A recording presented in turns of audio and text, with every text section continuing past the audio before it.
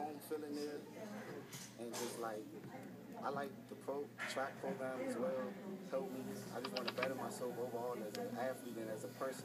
I feel as though they're the perfect fit for me. Now you're gonna you're gonna play both. You're gonna play both sports, football and track. What have you talked to Coach Fisher and Coach Stoops about in terms of dividing your time and so forth?